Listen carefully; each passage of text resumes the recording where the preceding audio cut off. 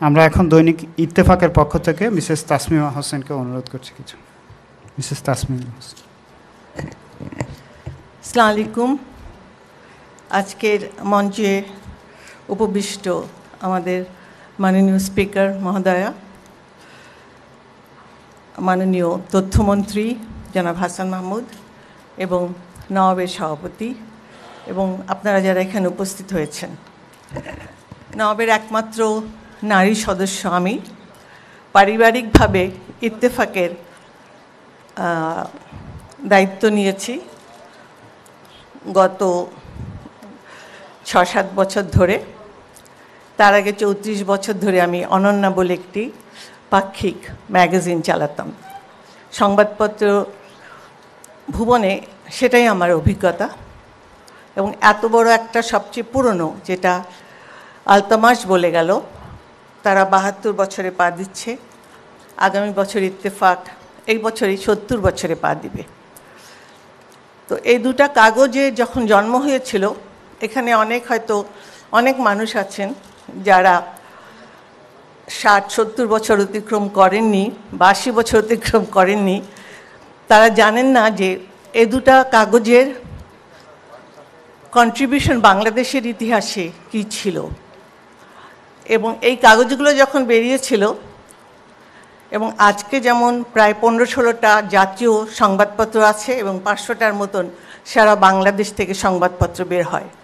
এই সংবাদপত্রের ভিড়ে আজকের সময় এবং তখনকার, আজ থেকে সত্তর বছর আগে যে সময় ছিল, তখনকার পার্থক্য কতটা সেটা একটু চিন্তা করলেই বোঝা যাবে।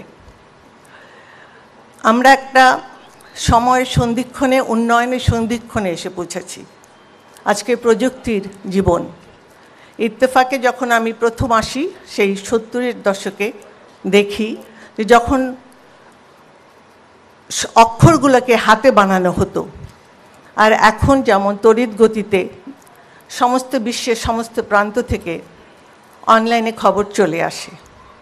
সেই জায়গা থেকে ইত্তেফাক প্রথম একটা কাগজ যে ফটো কম্পোজ তারপর কম্পিউটার তারপরে কালার পেজ ছাপানোর পরিকল্পনা নাই। সেদিক দিয়ে পায়োনিয়ারই বলতে হবে।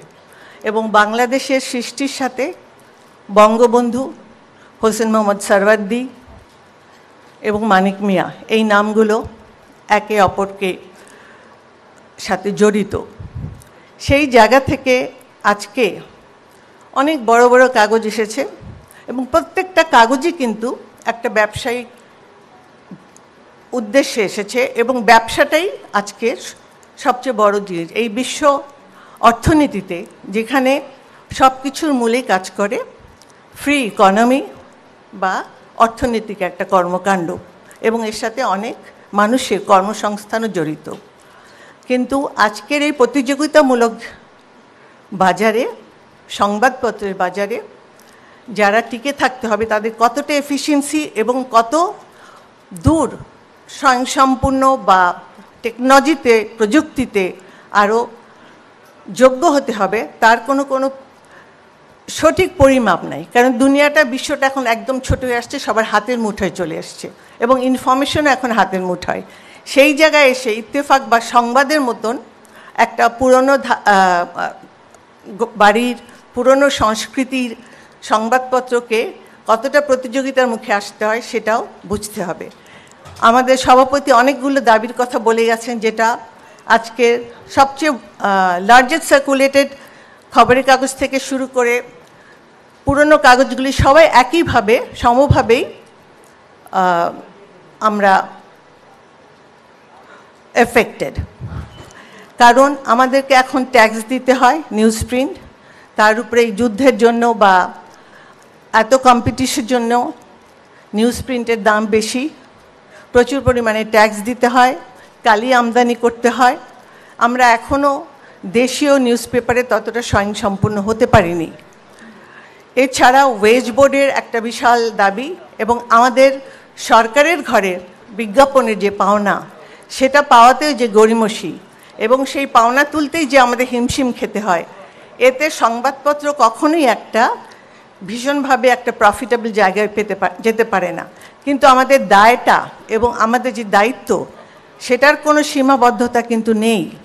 আজকে সঠিক সংবাদ মানুষের ঘরে ঘরে পৌঁছে দেওয়া এবং সংবাদপত্র শুধু প্রিন্টিং মিডিয়া নয় প্রিন্ট মিডিয়া নয়, এটা একটা অনলাইন মিডিয়াতেও পরিণত হয়েছে। এবং সেখান থেকে মানুষ সব কিছু কিন্তু আজকাল খুব দ্রুত পেতে চায়। তারা অপেক্ষা করতে চায় না। এবং যোগাযোগ ব্যবস্থা, আমাদের উন্নয়নের সাথে সাথে চারিদিকে পথঘাটের যে অবস্থা, সেখানে ঢাকা থেকে কাগজ ঢাকার বাইরে পাঠানো এবং সময় মতন পাওয়া।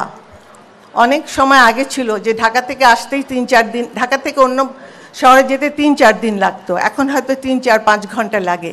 কিন্তু খবরের কাগজের বেলায় কিন্তু অনেক অসুবিধা হয়। আমাদের দেশের মানুষ বা মানব মানুষরা এখনও হান্ড্রেড পারসেন্ট এডুকেটেড না। এবং তারা এখন পর্যন্ত ডিজিটাল জীবনে ততটা সংযুক্ত হতে পারেনি। এই সমস্ত কিছু বিচার করেও আজকে বাংলাদেশে এতগুলো কাগজ টিকে আছে, মোটামুটি সবাই ভালোই আছে এবং তারা অনেক মানুষের কর্মসংস্থানও করছে। আমাদের মার্কেটিং যে পদ্ধতি আছে, সেটাও কিন্তু একটা আদি পুরাতন পদ্ধতি। সেই জায়গা থেকে আমরা এগিয়ে যাচ্ছি।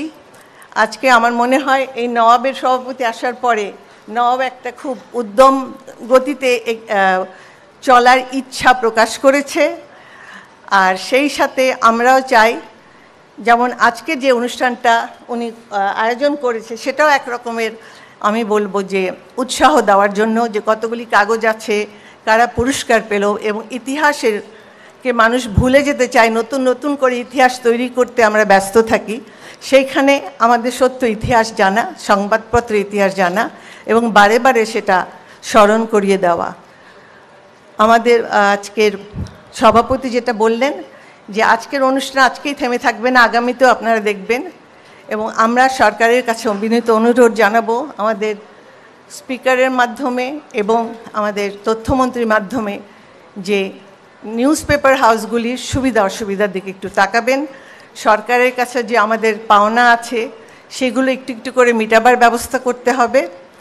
এবং আমাদের যেই করের যে চাপ আমাদের সব জায়গায় ফেলা হয়েছে এবং ওয়েজ বোর্ডের যে চাপ, আমরা অনেক দাবি দেওয়া আপনাদের কাছে দিয়েছি, অনেকবার বসেছি। সেগুলোর সুষ্ঠু একটা সমাধানের দাবি নিয়ে আজকে আমাদের এই সুন্দর অনুষ্ঠান নিয়ে আমার বক্তব্য শেষ করছি। ধন্যবাদ।